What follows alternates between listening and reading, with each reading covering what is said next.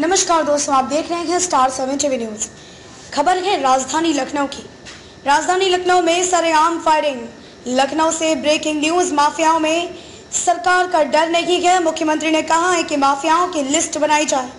एटा के जिला पंचायत सदस्य सुरेंद्र कालिया पर जानलेवा हमला। हमले में जिला पंचायत सदस्य का ड्राइवर हुआ घायल। ड्राइवर को लगी पैर में गोली अस्पताल में भर्ती। रेलवे ठेकेदार जुबेर सिद्दीकी को देखने आए थे एटा से सुरेंद्र कालिया। पैदल आए बदमाशों ने दिया वारदात को अंजाम। आलमबाग थाना क्षेत्र के अंजता हॉस्पिटल के सामने मारी गई गोली। स्टार सेवन टीवी न्यूज़ की कवरेज कमलेश सिंह की रिपोर्ट।